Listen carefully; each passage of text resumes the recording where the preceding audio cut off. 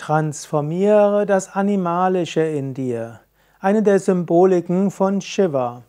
Shiva wird dargestellt mit Schlange um den Hals, manchmal auch Schlangen um die Arme, manchmal sitzt er auf einem Tiger, manchmal ist neben ihm Nandi, der Stier. All das sind Symbole für Kräfte. Der Stier ist das Wilde und die Genusssucht und derjenige, der das Angenehme sucht.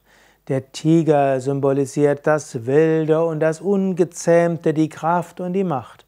Die Schlange symbolisiert auch verschiedene Kräfte und Energien wie die Kundalini, die Emotionen, verschiedene Triebe.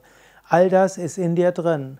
All das kann ins Negative gehen. Eine Schlange kann vergiften, ein Tiger kann töten, ein Stier kann gereizt werden und so weiter.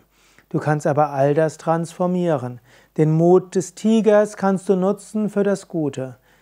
Den letztlich auch das Gemütliche des Stieres kannst du für Beständigkeit verwenden und die Schlange auch für Geschick und für nach oben streben.